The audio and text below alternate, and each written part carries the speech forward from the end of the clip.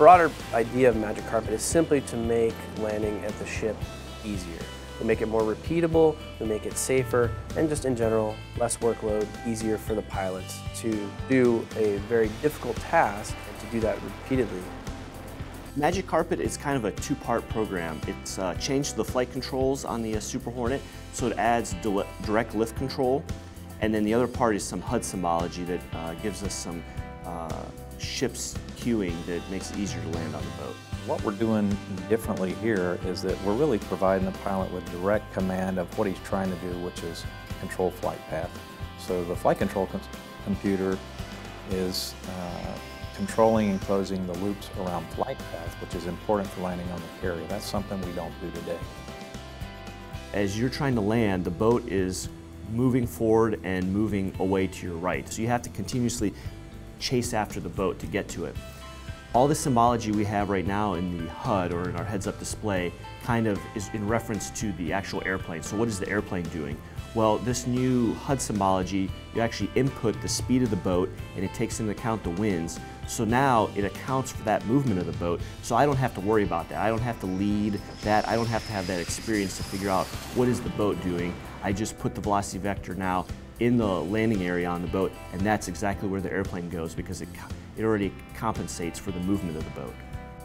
It's going to reduce the workload so that we can focus on um, maintaining the proper glide slope, the proper approach uh, to the ship so that we, go, we don't get too low or we don't get too high and we can, it'll be easier for day and night um, and that we can take that reduction in workload and stress overall throughout the flight and maybe apply that to other areas, to tactics or whatever so we can focus more on that and making the ship landing more an administrative task. It definitely makes a lot safer. I flew about 30 touch and goes in a two hour period and I don't think I would have had the mental capacity to be able to do that safely if it wasn't for this technology. And I think that's just going to make it safer when guys are coming back from long missions, uh, you know, six, seven hours over Afghanistan, Iraq, or wherever, and they come back to the boat, they're really tired and exhausted. This is just going to make it a no-brainer to land at the boat. From the other perspective is from the LSO perspective, or landing signal officer, the guys on the ship that are helping the, the planes land. Um, safety is their number one concern. The LSO knows that the, the jet will now hopefully, the throttle is linked up and the, the attitude of the jet is constant, so he's not as worried about that, that new pilot with pulling the throttles back to idle and possibly you know, crashing in the back of the ship. So to date, uh, we're really getting very good correlation with our simulation results to what we're seeing in the airplane.